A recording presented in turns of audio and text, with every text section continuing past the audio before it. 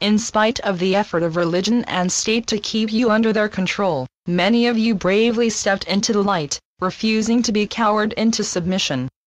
Now you see clearly how everything that, in the past you had accepted and trusted, is all part of the great plan to remove humanity from the earth. You are encouraged to be instrumental in your own destruction. How evil is that? You willingly put on their uniforms, killed for them. You destroyed sacred places and objects that had survived for a reason, so that man would learn who he is and his true history. The Cabal wants all evidence of humanity removed from the earth. The mind-controlled amongst you are happily doing this for them. They proudly show off their medals, their rewards for destroying humanity. How sick is that? The moment you put on their uniform, whether army or police, you lose your humanity. You become robots who obey those you serve. Through meditation, you can connect with your higher selves, to find your strength. Many from the time of Atlantis and Lemuria return to Earth to ensure you do not make the same mistakes they once made connect with their meditation or simply do whatever works for you.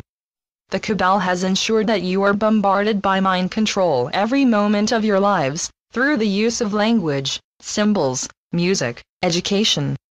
Unless you live in a remote, undiscovered place where all the trappings of modern life do not exist, you are fighting a battle with a control system. Until you can see it clearly, you do not stand a chance. Once you awaken to it, it loses all its power over you, and you are free. Then you see those who impose their will on you, forcing you to live as caged animals, too scared to step out of line. You wonder how the human race could have come to this sorry state. You, yes each one of you reading this, knows in his heart that you are on earth to make the necessary changes for humanity to take back control to ensure that humanity continues to live life on earth.